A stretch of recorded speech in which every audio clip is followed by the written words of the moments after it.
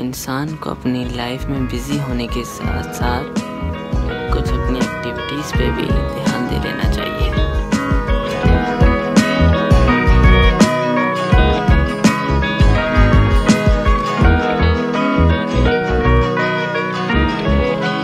बस फिर इसी लाइन को पढ़कर हमने सोचा कि क्यों ना किसी एकेडमी में चक्कर लगाया जाए। प्रैक्टिस करते हैं।